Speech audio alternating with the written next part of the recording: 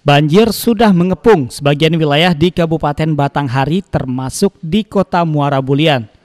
Di ibu kota kabupaten ini terpantau sudah puluhan rumah terendam banjir, seperti di kawasan desa Sungai Baung dan di Pasar Baru Muara Bulian. Sejauh ini di Muara Bulian terpantau belum ada sekolah yang terendam banjir, aktivitas pelajar mengajar tetap terlaksana. Kapolsek Bulian AKP Indar Wahyu mengatakan setiap hari debit Sungai Batanghari terus mengalami kenaikan.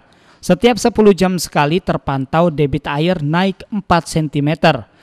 Sementara ketinggian air sudah mencapai 2,6 meter sampai sekarang. Kapolsek Indar Wahyu mengatakan status saat ini sudah siaga dua. Sementara warga masih tetap bertahan karena air baru merendam rumah mereka sebatas paha orang dewasa. Kapolsek juga menghimbau kepada warga untuk berhati-hati terutama pada malam hari mengingat air terus naik.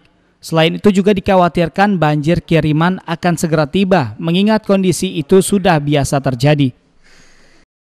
Data ini kami dapat dari dermaga eh, BPBD.